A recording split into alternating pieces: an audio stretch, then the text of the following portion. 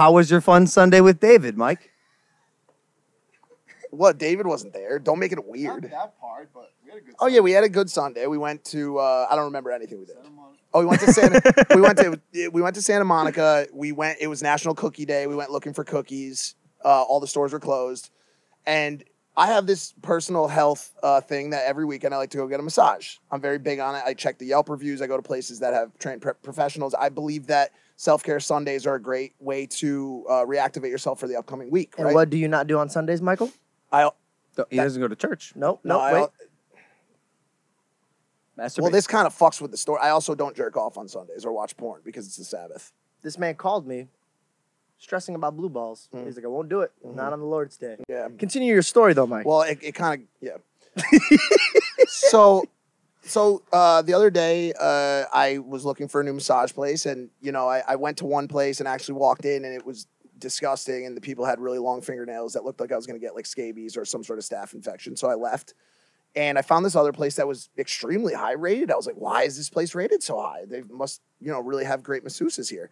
And I walked in. I said I wanted a 45 minute massage, and the rate was a little bit higher than normal. they Oh, wanted no. they wanted 60 bucks instead of like usually it's like 35, 40 bucks, whatever, for the 45 minutes at these small places. And I started looking around, and um, all of the women was a top. It, I shouldn't say that. It was it was a massage place, and all of the women were um, were like in their like 20s and 30s. Like they weren't like the normal like you know women that you'd see at these places, and they're all they're kind of like hot chicks, dude. You know what I'm saying? I was just like, wow, this is this place really is nice. Did this place have a fish tank in it? Yeah, I'm sure it did. So I I, I know what you're talking about. so I go, I go, I go lay down on the table, and the lady comes in, and she's being kind of like, you know, like very talkative, like asking me questions, like where do you, what area do you live in, like, um, you know, what do you do for a living, and I'm, you know, I'm of course giving her every single piece of personal detail because that's how I am, and just telling her everything about myself. And uh, she's giving me this good massage. She's kneeling in my back and like really working her her fingers into my spine and shit. And she's like, "Okay, flip over." So I flip over, and she starts massaging my um my thighs and then keeps kind of working up to like the side of my my balls a little bit you know what i'm saying? Like she's kind of just working in there and really getting deep into the into the loins you know? It's a sensitive location. you know and you start to get that little tingly pringly in your mm-hmm. wiener and like you're like dude like this is a massage dude. I shouldn't be feeling like this is Yep. something normal people do you know not just me. And she just kept massaging and then all of a sudden she like went like in my stomach area and i was like damn like i've never had a stomach massage before. Is she checking for like some sort of intestinal cancer or something? Like what's good? And she like was massaging my stomach and she like kept accidentally like grazing by my cock bro which you know obviously was at that point like you know it was like waking up a little bit. You know what i'm saying? Like i'm like dude because i'm very relaxed. I'm like basically sleeping. And like you know she's massaging the area but like her hand is like kind of chafing the tip of my dick back and forth. And like i'm like damn maybe she just thinks it's like a, my thumb or something because they're about the same size so i'm just sitting there dude and now like my dick is like kind of hard bro right The tent And- has been pitched. yeah dude Are you And- under the towel still? yeah, I'm still under the towel, but she's got it like really spread to the side. Mm. And then she finishes up in that area and she starts to go down the leg and, and then she stops and she's like, You want me to massage that area? Oh.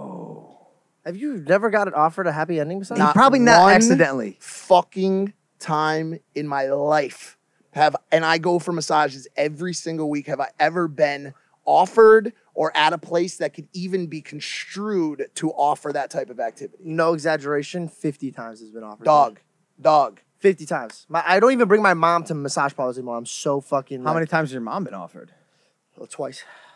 Did she take No, I just take her to like the really nice hotel ones where I know they're not touching her. But yeah, no, I read. That's why I don't get massages out in LA, dude. Because every time I lay down in that bed, I go, "No, somebody nutted here like ten minutes ago." Oh. Will your will your girlfriend be upset if you get uh, happy ended? Uh, I don't know. I, I don't think she would if it was like a massage thing. Like, there's a lot of countries that allow that as a massage thing. If it was like an old lady and she was doing, it, I don't think she'd be bothered. But if it was like all these supermodels coming in to do, she'd be like, "All right, that's They weren't obviously sexy." supermodels. They were just like, you know, But obviously, no, I wouldn't do that. By the way, I don't think she would be like.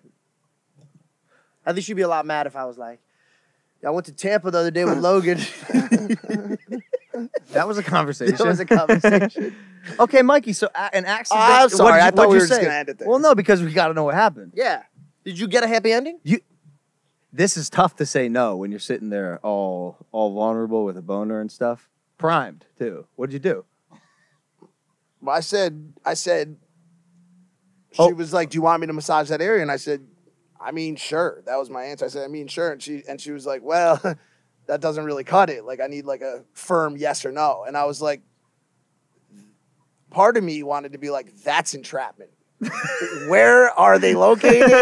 and when are they running in the fucking when are they coming in the room? No, but I was like, yeah, I mean, all right. And she was, and I was like, what, you know, what's that? What's that kind of thing? Run me. And she was like, a hundred. I said, lady, that's a hundred? little fucking steep. that's literally what I said. I go, that's a little steep for an old fashioned.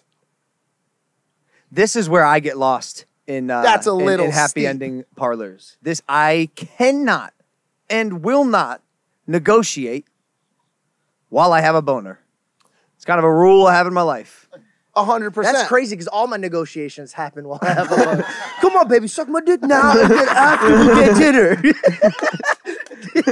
Call it the appetizer. yeah, come on, come on. and and of course, so so that negotiation pretty much went like this: a hundred dollars. That's a pretty pretty steep price, lady. She goes, "It's the price." I said, "Okay," and that's why you don't negotiate when you have bar- have. I said, "All right." Not one more, not one more argument. I said, "Perfect." You could have said five hundred at that point. I would have been like, "Take my Amex." Oh wait, so why did why do you call him with blue balls? Or you? No, it was a different time. Oh, she got the job done. They're really impressive usually. No, Dog, 30 seconds. milliseconds. Yeah, I was about to say. The- these these The these professionals, women, bro. they waste yeah, no time. They man. walk in and their training camps are a bunch of dildos and they're just training each one. They even they practice arousing you too.